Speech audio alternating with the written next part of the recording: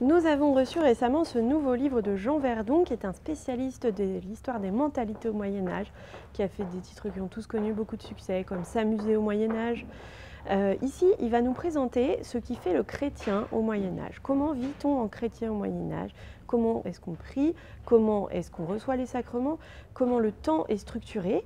Et il va nous expliquer que l'Église a peu à peu accru son influence sur les âmes.